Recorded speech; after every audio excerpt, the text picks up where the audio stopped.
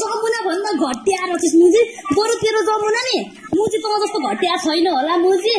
तँ त लास घटिया रहेछस् नाच सिक्ने तँ त लास घटिया। तँ मुजी त लास मुजी। मलाई त लास त्यो मुजी। तेरो जिन्दगी मुजी। बिचरा मेरो दाइले पनि त मेरो दाइले त कमसेकम सुखै पाएछ मुजी तँलाई छोडेर। जस खुसी लाग्छ यार मेरो दाइले मेरो भाइ दाइले छोडे तँलाई भनेर। म त छक्क यार दाइले छोडिदिएछ तँलाई। यस्तो आनन्द यस्तो खुसी लाग्यो नि। जमुनाको साथी भनेर भन्यो है। ल ठिकै छ नि त होला नि त भनेर यस्तो हेरेको त मुजी त बर्बेनी पो पराएर जस्तो मुजी ला हेरेको चाहिँ यस्तो हेरेको त ल यसको नाम के हो भनेर भनेको छ सक्नु अरे।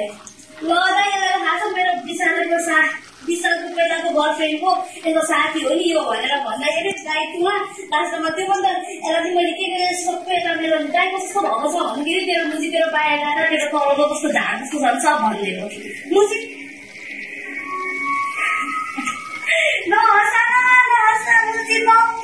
यस्तो घटिया जस मुजी कमसे कम त्यो कुरा ठिक छ मुजी त लास्ट घटिया तँलाई मेरो भनेको छ होइन छ तेरो बारेमा सुन्दा सुन्दा म पागल भयो कस्टम भने